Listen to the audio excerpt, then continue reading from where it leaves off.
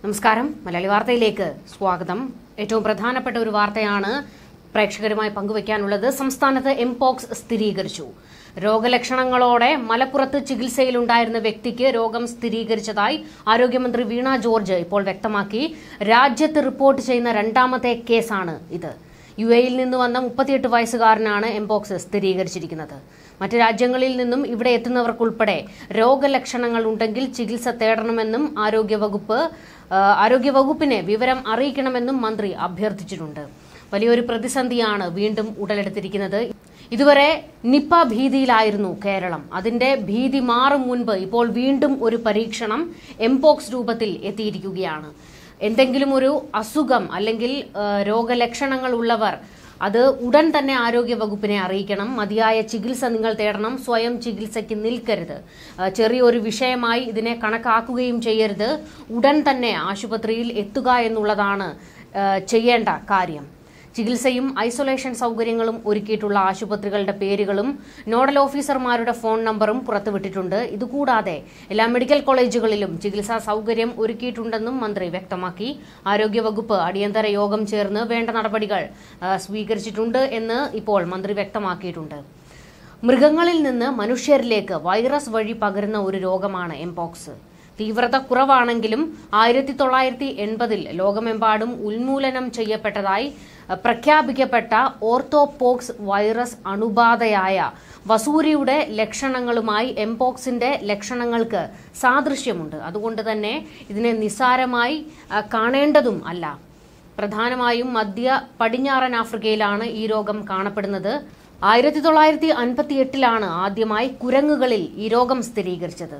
ആയിരത്തി തൊള്ളായിരത്തി എഴുപതിൽ ഡെമോക്രാറ്റിക് റിപ്പബ്ലിക് ഓഫ് കോങ്കോയിൽ ഒൻപത് വയസ്സുള്ള ആൺകുട്ടിയിലാണ് മനുഷ്യരിൽ എംപോക്സ് ആദ്യമായി കണ്ടെത്തിയത്.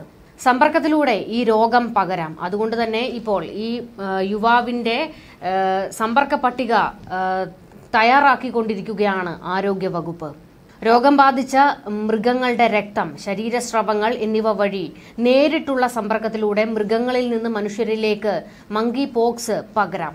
അണ്ണാൻ എലികൾ വിവിധ ഇനം കുരങ്ങുകൾ എന്നിവയുൾപ്പെടെ നിരവധി മൃഗങ്ങളിൽ എംപോക്സ് വൈറസ് അണുബാധയുടെ തെളിവുകൾ കണ്ടെത്തിയിട്ടുണ്ട്. വനമേഖലയിലോ സമീപത്തോ താമസിക്കുന്ന ആളുകൾക്ക് രോഗബാധിതരായ മൃഗങ്ങളുമായുള്ള സമ്പർക്കമുണ്ടായാൽ രോഗബാധ ഉണ്ടാകാനുള്ള സാധ്യതയുണ്ട്. രോഗബാധിതനായ ഒരാളുടെ ശ്വാസകോശ സ്രവങ്ങളുമായുള്ള അടുത്ത സമ്പർക്കത്തിലൂടെയാണ് മനുഷ്യരിൽ നിന്ന് മനുഷ്യരിലേക്ക് രോഗം പകരുന്നത്. ക്ഷതങ്ങൾ ശരീരസ്രവങ്ങൾ ശ്വസന തുള്ളികൾ കിടക്ക പോലുള്ള വസ്തുക്കൾ എന്നിവയുമായുള്ള അടുത്ത സമ്പർക്കം രോഗം ബാധിച്ച ആളുമായുള്ള ലൈംഗിക ബന്ധം എന്നിവയിലൂടെ എംപോക്സ് വൈറസ് ഒരാളിൽ നിന്ന് മറ്റൊരാളിലേക്ക് പകരുന്നത്. പ്ലാസന്റ വഴി അമ്മയിൽ നിന്ന് കുഞ്ഞിലേക്കോ അല്ലെങ്കിൽ ജനന സമയത്തോ അതിനുശേഷമോ കുഞ്ഞുമായുള്ള അടുത്ത സമ്പർക്കത്തിലൂടെയും രോഗസംക്രമണം സംഭവിക്കാം. ലോകമെമ്പാടും വസൂരിക്കുള്ള വാക്സിനേഷൻ നിർത്തലാക്കിയതിനാൽ പൊതുജനങ്ങളിൽ വസൂരിക്കെതിരെയുള്ള പ്രതിരോധശേഷി കുറയുന്നതിനെ എംപോക്സിനെതിരെയുള്ള പ്രതിരോധശേഷി കുറയ്ക്കുന്നതിനും കാരണമായേക്കാം. ഇതിന്റെ ലക്ഷണങ്ങൾ എന്തൊക്കെയാണെന്ന് നോക്കാം. സാധാരണഗതിയിൽ എംപോക്സിന്റെ ഇൻകുബേഷൻ കാലയളവ് ആറ് മുതൽ പതിമൂന്ന് ദിവസം വരെയാണ്. എന്നാൽ ചില സമയത്ത് ഇത് അഞ്ച് മുതൽ ഇരുപത്തിയൊന്ന് ദിവസം വരെ ആകാം. രണ്ട് മുതൽ നാലാഴ്ച വരെ ലക്ഷണങ്ങൾ നീണ്ടു നിൽക്കാറുണ്ട്. മരണനിരക്ക് പൊതുവെ കുറവാണ്.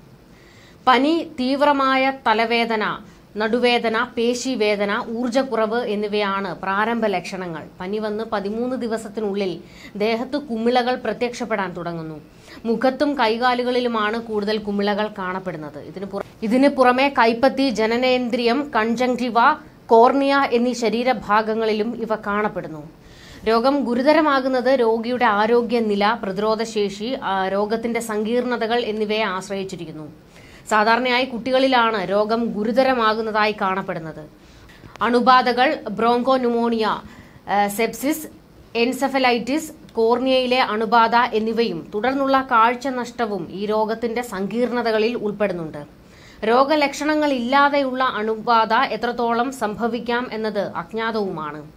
വൈറൽ രോഗമായതിനാൽ എംബോക്സിന് പ്രത്യേക ചികിത്സ ലഭ്യമല്ല. രോഗലക്ഷണങ്ങൾ ലഘൂകരിക്കുന്നതിനും രോഗം മൂലമുണ്ടാകുന്ന സങ്കീർണതകൾ കൈകാര്യം ചെയ്യുന്നതിനും ദീർഘകാല പ്രത്യാഘാതങ്ങൾ തടയുന്നതിനും എംപോക്സിന്റെ ലക്ഷണങ്ങൾ കണ്ടാൽ ചികിത്സ തേടേണ്ട അത്യാവശ്യമാണ്. എംപോക്സിന്റെ വാക്സിനേഷൻ നിലവിലുണ്ട്.